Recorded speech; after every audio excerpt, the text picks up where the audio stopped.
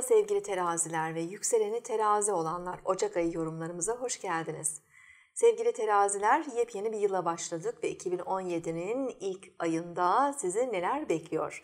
Evet, geçtiğimiz yılın son günlerinde Oğlak Burcu'nda yeni bir ay doğmuştu ve yılın ilk günleriyle beraber ayın ışığı da yavaş yavaş büyüdükçe e, etkilerini de hissetmeye başlayacağız. Özellikle Ocak ayının ilk yarısı içerisinde Oğlak yeni ayının etkileri e, bizim için de şekillendirici ve belirleyici olacak. Dördüncü evinizde doğmuştu bu yeni ay. Dördüncü eviniz yuvanız, aileniz, yaşadığınız yer, mekanlar, ebeveynler, tüm bu konulara dikkat çekiyor. Ve yeni aylar yenilikler demek, yeni değişimler, girişimler demek. Evet ailevi konularda veya yaşadığınız mekanlar, yuvanız, bununla bağlantılı belki kariyeriniz, genel anlamda görev ve sorumluluklarınızla ilgili konularda güçlü etkiler var Ocak ayının içerisinde.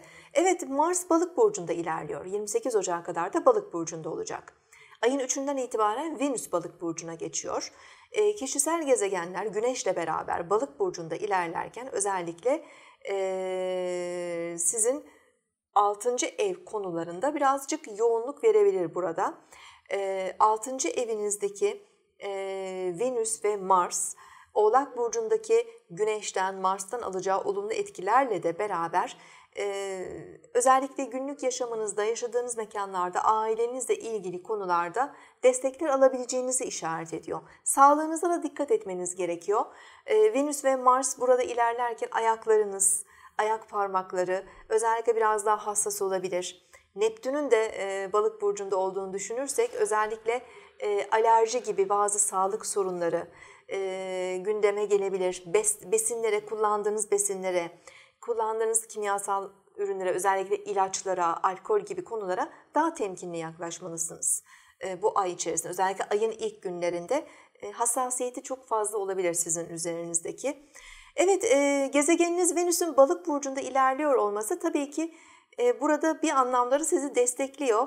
Venüs balık burcunda çok güçlüdür. Özellikle güzellik ve estetikle ilgili konularda şanslı bir dönemdesiniz. Kendinizle ilgili kişisel bakımınız, e, giyim, kuşam, estetik gibi konularda Venüs balık burcunda ilerlerken e, çok daha fazla ilgilenebilirsiniz ve bunlar e, oldukça başarılı da olabilir. Geri dönüşleri çok iyi olabilir.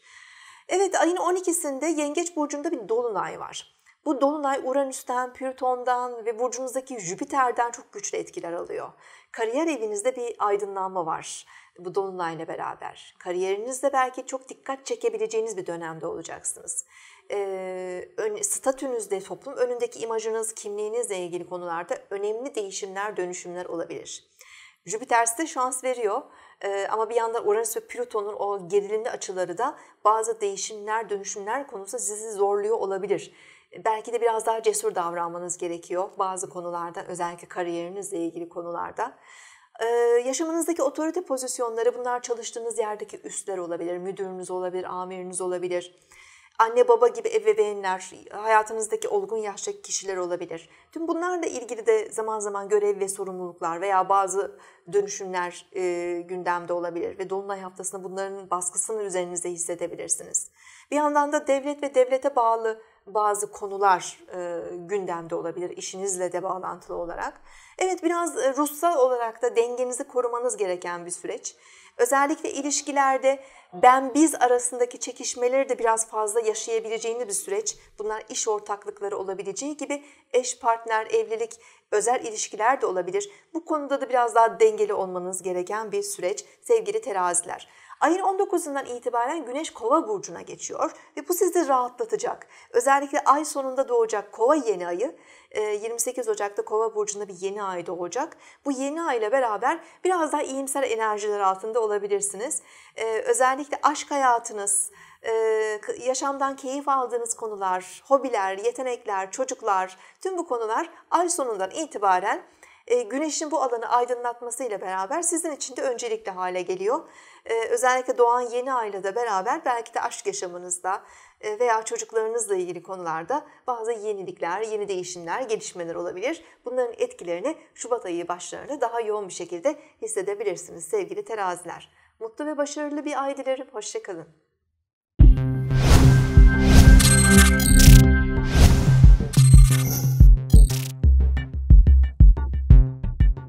Akşam seminerimizi canlı olarak mobil uygulamamız üzerinden yapıyoruz.